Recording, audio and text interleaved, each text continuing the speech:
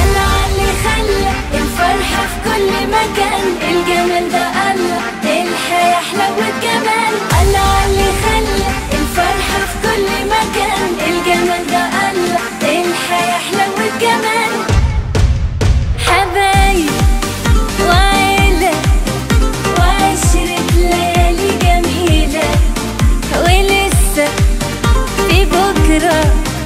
ولسه الحكاية